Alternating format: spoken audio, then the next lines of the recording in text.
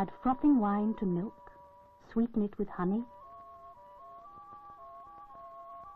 Take up the cup and bear it to the grave, and pour the mingled contents round Clytemnestra's tomb.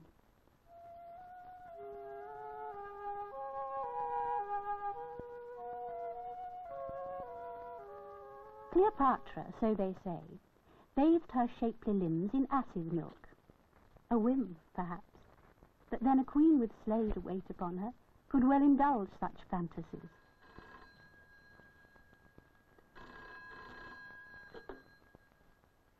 Hello? Mmm, in the bath, darling. It's absolutely marvellous. Mmm, beautiful milk.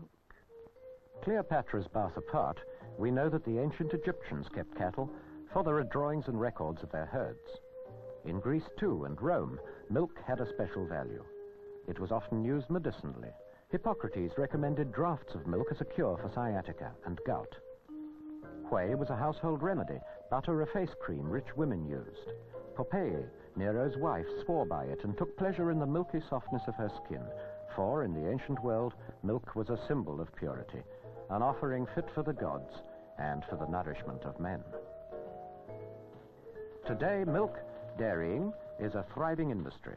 The modern dairy, a highly efficient processing plant where milk is heat treated, sterilized or pasteurized, processes which destroy harmful bacteria without affecting the quality or freshness of the milk. Not much more than a hundred years ago, the only way to be sure of fresh milk was to live within spitting distance of a farm. If the milk was still warm when you stuck your finger in it, it was fresh. Bulk transport and refrigeration have changed all that. Most milk is collected in tankers. As part of his job, the driver takes samples from each farm on his round. No milk is unloaded at the dairy until a sample has been taken from the tanker and tested in the laboratory. If the sample's below standard, the whole lot's rejected. Tests are made repeatedly all through production to check the fat content of the milk, to check its density and keeping quality, to make sure that the pasteurizing plant is functioning as it should.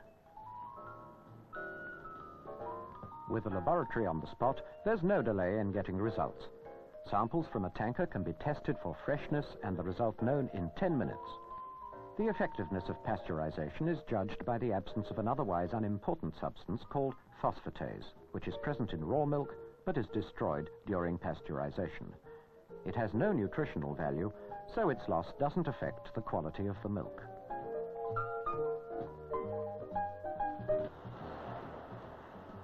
Lost bottles are one of the industry's problems. They last on average for just about 40 deliveries.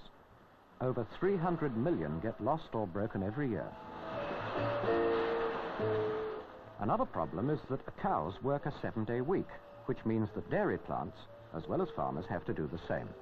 It's no good putting out a no milk today note for a herd of cows.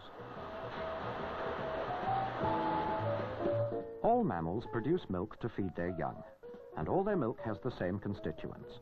Protein, sugar, fat, vitamins, minerals, and water. Only the proportions differ. There's more fat in some, more protein in others. Some animals produce more milk than others, more than enough for their young, which is one of the reasons why cows are so valuable.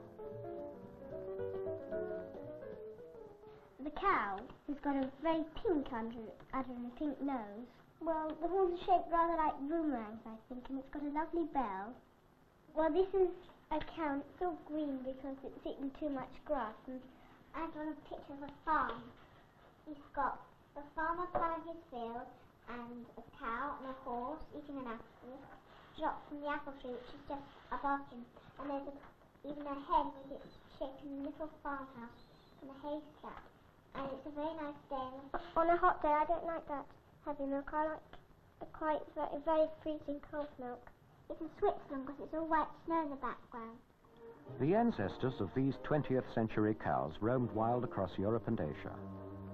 20,000 years ago, prehistoric man, who hunted them for meat, painted these pictures of them on the walls of a cave in France. They were called aurochsen. In the 1930s, two gists reversed the normal breeding process and recreated wild aurochsen.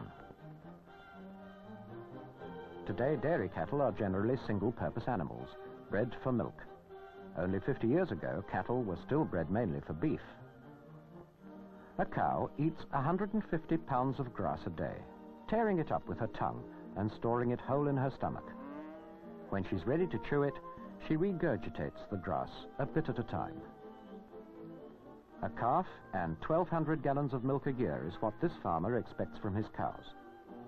Given that a cow can have a working life of 15 years, that's 75 tons of milk in a lifetime. They're milked twice a day. The more milk a cow gives, the bigger the ration she gets. It goes without saying that the milking parlour is kept scrupulously clean. The milk is sucked straight into big sealed jars. The scale on the side shows the yield. New milk is warm, the temperature of the cow's body.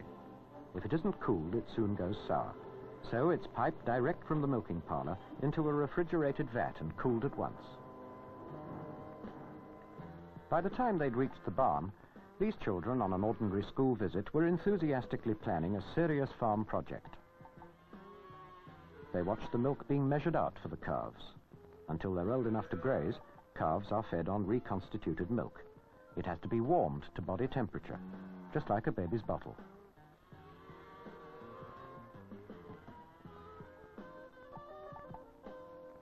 Now they could feel for themselves the rough tongues that make sense for tearing up grass. Milk is collected daily from the farms in refrigerated tankers, but nothing goes into the tanker until the driver has satisfied himself that the milk in the farm's vat is cool and smells fresh. All's well. He measures it, and it's piped into the tanker.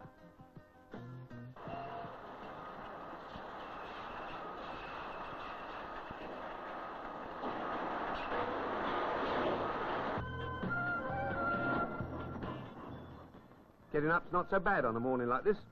Almost worth it, in fact, to see the blossom bursting out all over. Hear the birds singing. Hello, hello, hello. What's this? Hold up. Morning, Philip. An extra pint tomorrow, please.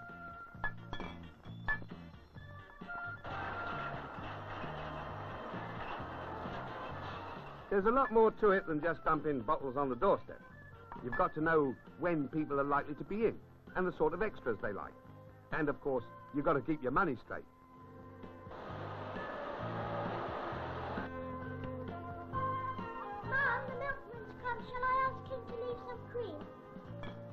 We're lucky here, for there aren't many places in the world where milk and cream are still delivered to the door. In most other countries, milk is just one more thing to be lugged back from the supermarket. Run and meet the milkman, darling. Dad wants his cup of tea. There's one thing about the milkman. He's always welcome. And you can generally set your clock by him.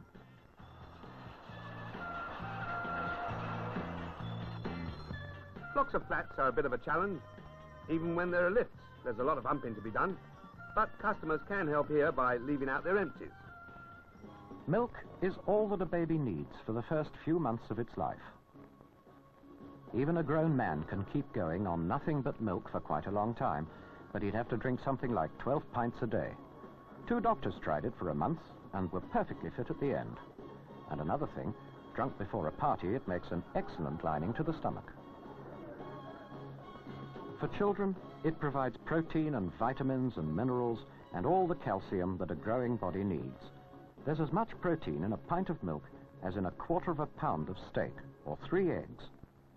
It's the most nearly complete food there is.